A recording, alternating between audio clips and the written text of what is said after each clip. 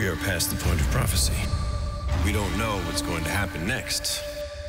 Meaning, anything can happen. We're gathered here today to witness the eternal union of Flynn Carsen and Eve Baird. Wow, I did not see that coming. The library is uncoupling from reality. I have no idea how it's changing. What do you mean changing? It will be game over. All right, this is weird even for us. Can anybody hear me? How did they get in there?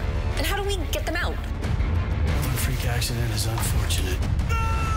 Two is unusual. Three, four, five.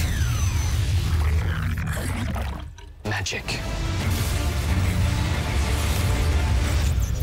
Oh dear.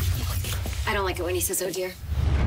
The Librarians. New season premieres December 13th at 8 on TNT.